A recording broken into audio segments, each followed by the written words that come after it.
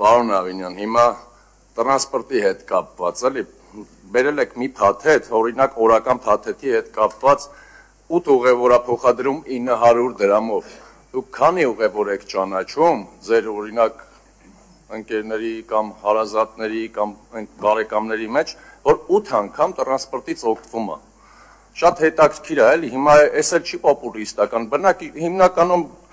ուղևորները 2 լավ 3 թող 4 լինի 8 անգամ այսինքն փորձենք ատրակցիոն է ինչա ավտոբուսը որ նստեն շրջեն քաղաքում մենք ունեն չէ Երևանում շրջող Երևանի ավտոբուս ունեն կգնան հրաապարակից կնստեն էլի հիմնականում մարդիկ աշխատանքի են գնում ասենք 1 2 3 անգամ թող նստեն էլի ես ինչ փաթեթի մասին է խոսքը որ 900 դրամ 8 ուղևորա փոխադրում էլի որ չեն նստելու այդքան բացառություններ չէ սա 95%-ի շահերից է բխում որ չի համընկնելու